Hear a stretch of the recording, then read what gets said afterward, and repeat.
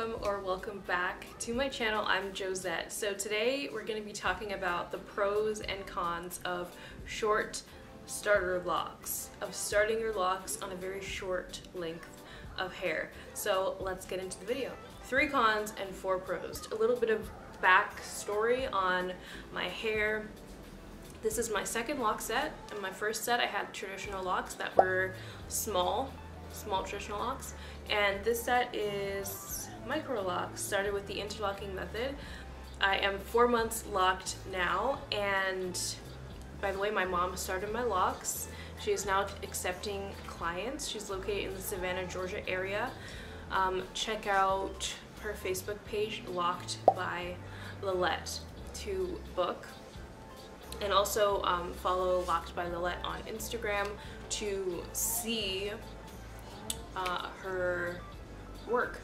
But yeah, so I started on two to three inches of hair. I actually have not measured my hair yet, but maybe I'll measure my hair at the six month mark six month lock update. I think I'll do that. So the reason why I started on such a short length was because I did a big chop and I was honestly just ready to start my journey and I didn't see the point in waiting to have longer hair when my mom was capable of installing it on shorter hair. I thought I might as well just start my journey now and really, yeah, just, just start.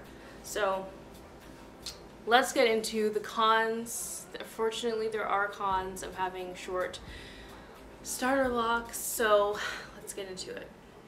Okay, con number one, slippage is more obvious and more annoying.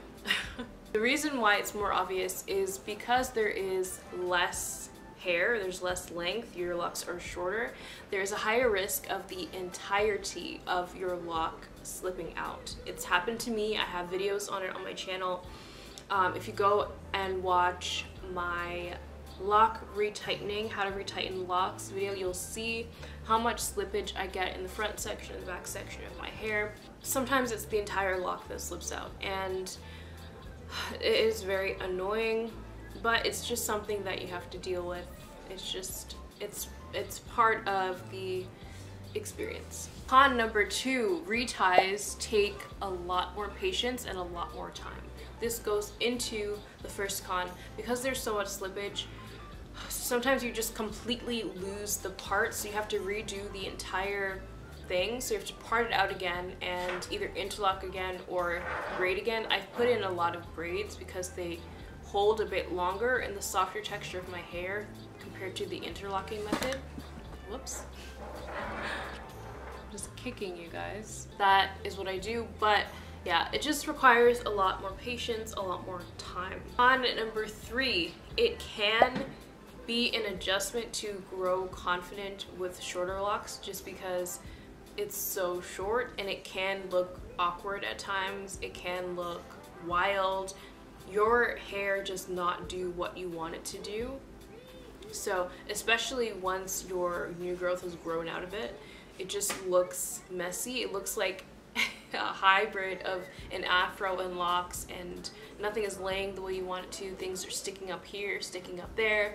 So it's another con, but you know, you just have to, you just have to deal with it. There's nothing you can really do.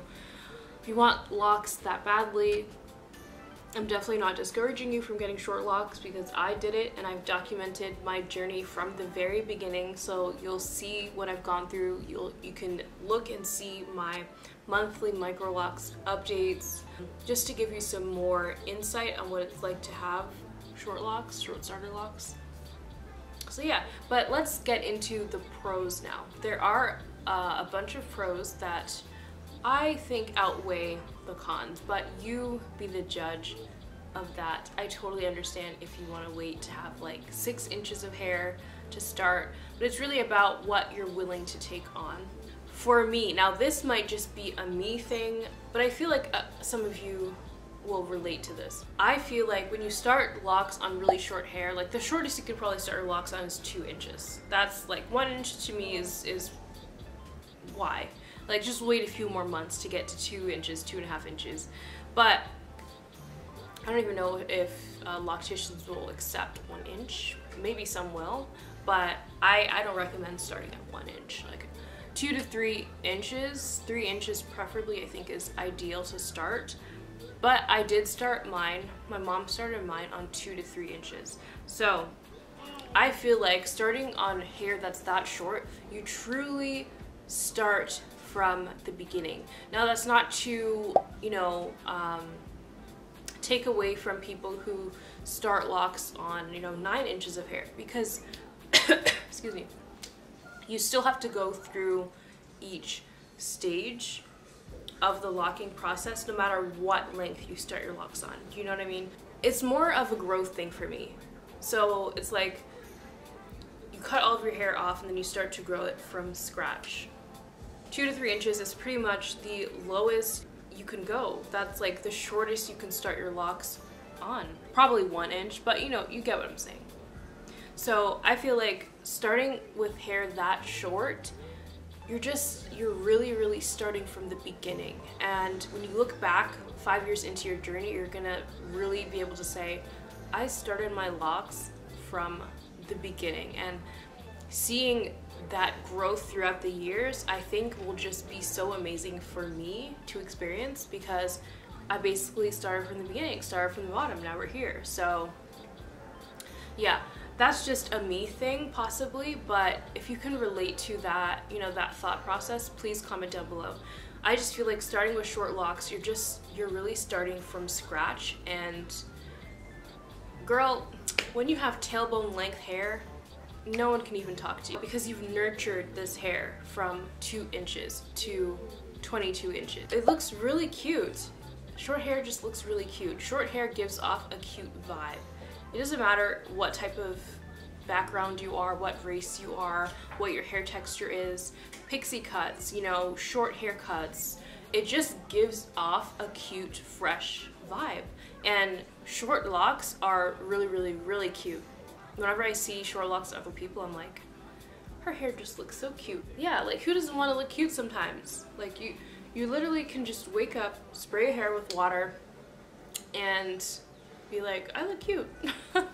yeah, so that's that's definitely a, a pro. Like that's you know having such a carefree hairstyle and especially not having a lot of it, it's definitely a relief.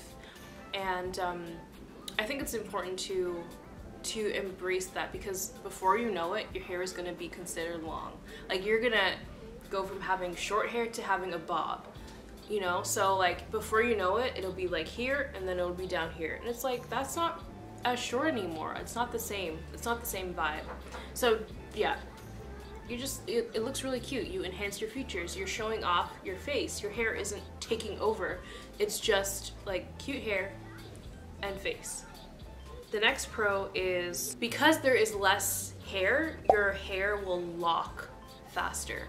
I've definitely, I feel like that is something that um, it's not really talked about because most people start their hair, their locks on longer hair, but think about it in the sense that the more hair you have to lock, the longer that process will take and vice versa. So I'm already feeling my locks like getting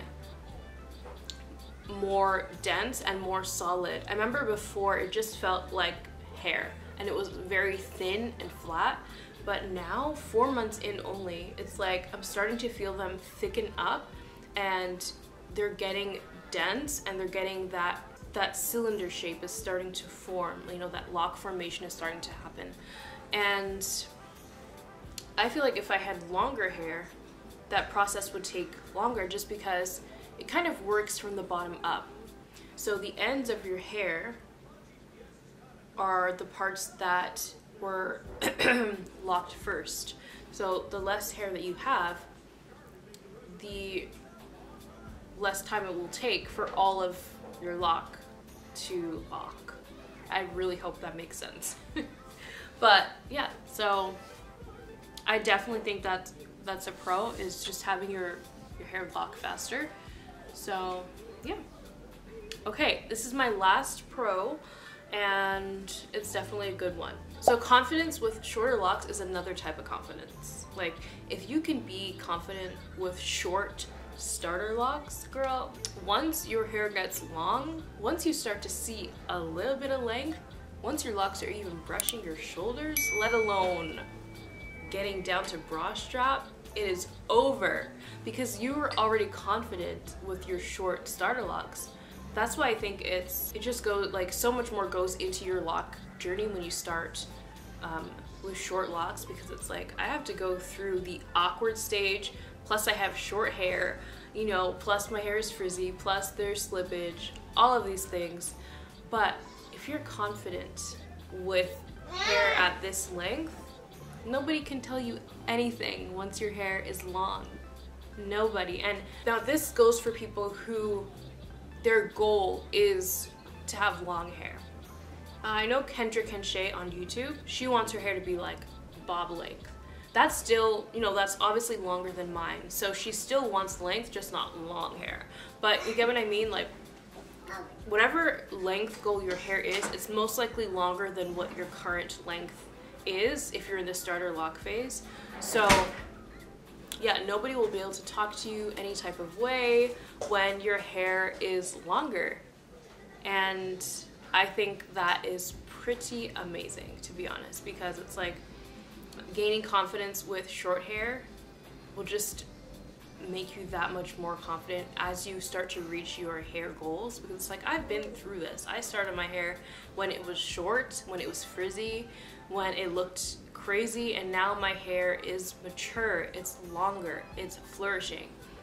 And you, you, you, you cannot talk to me any type of way.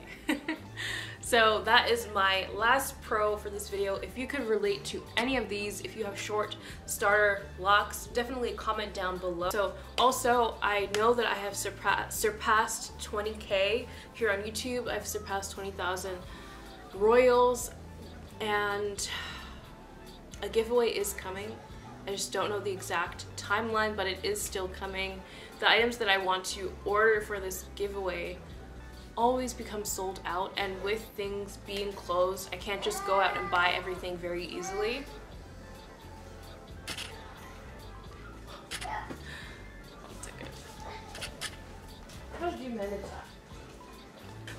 So yeah, that is coming. If you like this video, don't forget to the thumbs up, subscribe, and comment below. And I will see all of you in my next video. Bye!